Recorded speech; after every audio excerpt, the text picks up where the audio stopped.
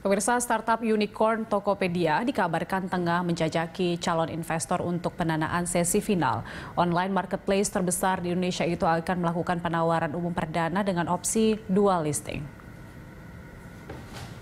Rencana dual listing dalam penawaran umum tengah dijajaki pihak Tokopedia pada pasar domestik dan luar negeri. CEO Tokopedia William Tanuwijaya menyatakan tengah memilih mitra yang tepat sesuai dengan visi misi perseroan. Selain rencana melantai di bursa domestik, listing di pasar regional juga dianggap sebagai peluang meningkatkan profil Tokopedia dan menarik investor baru.